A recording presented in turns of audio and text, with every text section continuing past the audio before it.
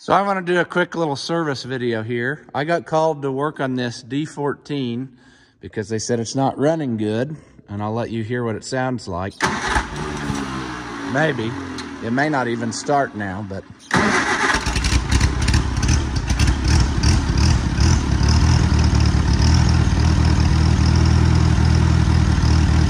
But it misses out really bad.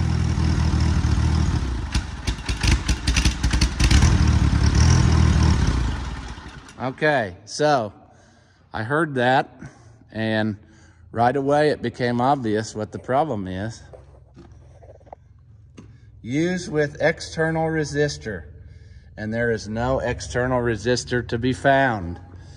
This is why it's important if you put 12 volt coils on that you use the right one because what it has done is it has burned up the points. I don't know if you can see them, but they look pretty bad.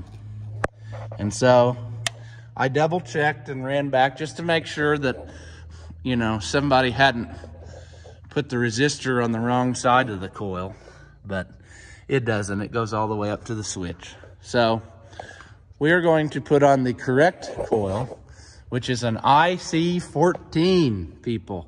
That is a 12 volt internally resisted coil, and that should fix his problem along with a new set of points, of course, because these are are done. So we'll get that stuff swapped out and hopefully it will run great. Here we can see them side by side. You can see the difference in text, but they look identical other than that.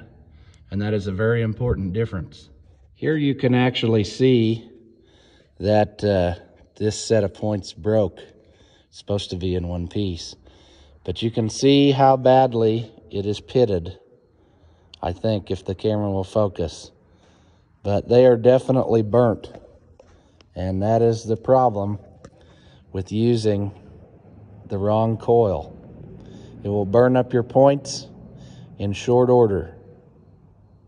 Well, I went ahead and put new wires on and a cap, points, condenser. The rotor was good, so I reused it. It looked like new. Let's see if we fixed it.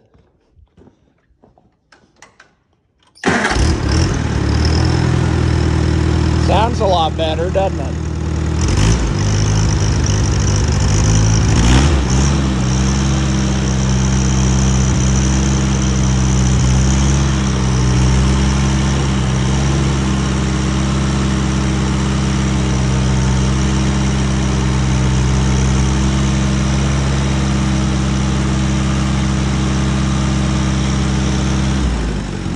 We may need to play with the carburetor too. It doesn't want to run perfect with the choke all the way in.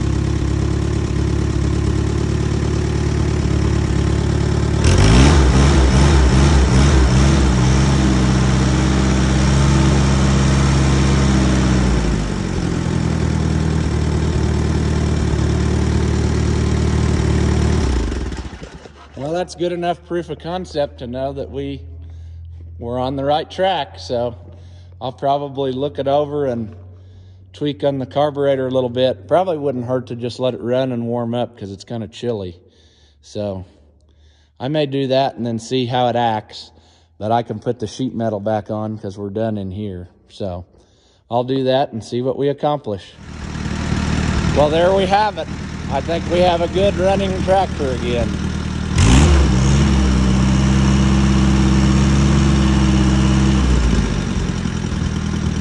I'll probably drive it around for a second and make sure, but I think we're good to go.